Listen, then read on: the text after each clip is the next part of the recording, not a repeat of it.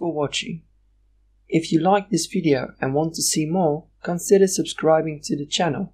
If you have any suggestions for our next video, leave them in the comment section below. Thank you for watching and I'll see you guys next time.